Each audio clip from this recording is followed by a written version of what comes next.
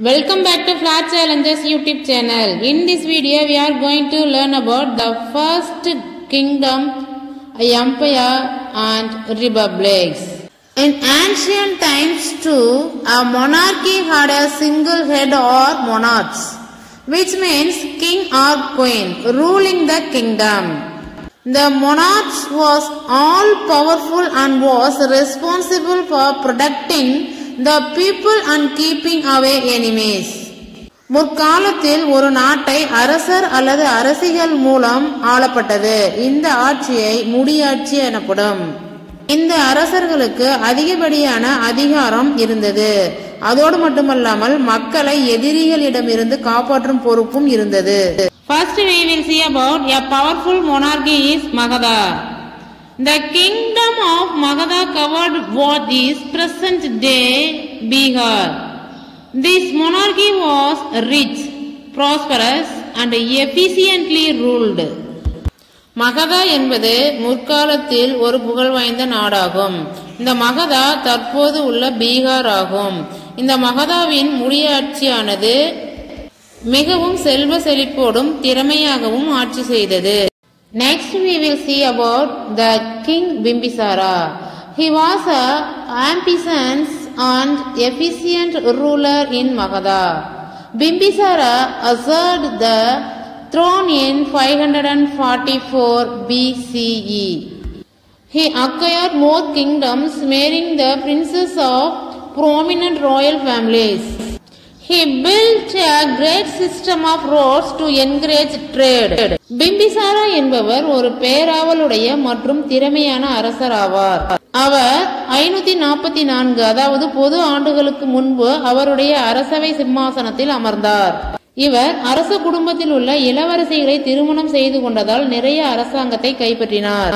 மேலும் இவர் ஆட்சியில் சாலை வசதிகள் செய்து வணிகத்தை வளர்ச்சியடை செய்தார் next we will see about the king Ajatashatru Ajatashatru was the son of king Bimbisara he continued his father's expansion plans and conquered lands further north and west அரசர் அஜாத சத்ரு பிம்பிசாராவின் மகன் ஆவார் அவர் தன் தந்தையர் போலவே பல நிலப்பகுதிகளை வென்று வடமேற்கு பகுதியை விரிவடை செய்தார்.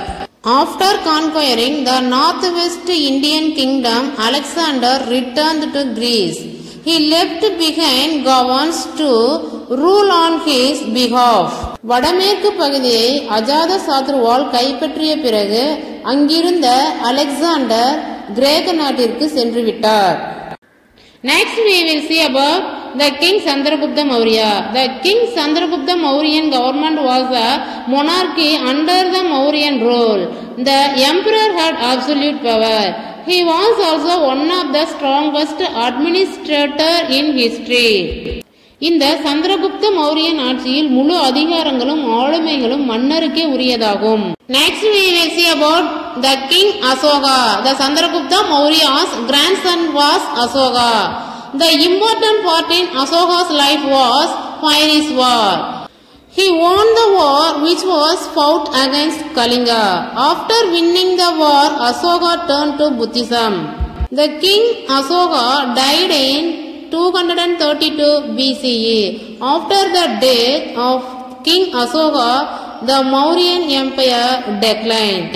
அரசர் சந்திரகுப்த மௌரியருடைய பேரன் அசோகர் ஆவார் கலிங்கா போர் ஒரு முக்கியமான நிகழ்வு ஆகும் இந்த போருக்கு பிறகு அசோகர் புத்த மதத்தை பின்பற்றினார் பின் அசோகர் இறந்த பிறகு இந்த மௌரியன் அரசானது முடிவுக்கு வந்தது Finally, we will see about the republic, குடியாட்சி. The republic is defined as a form of government in which a state is ruled by representatives chosen by the citizens. குடியரசு என்பது மக்களால் தேர்ந்தெடுக்கப்பட்ட பிரதிநிதியை கொண்டு செயல்படும் அரசாட்சி ஆகும். இதனை மக்களாட்சி என்றும் கூறலாம். Thank you children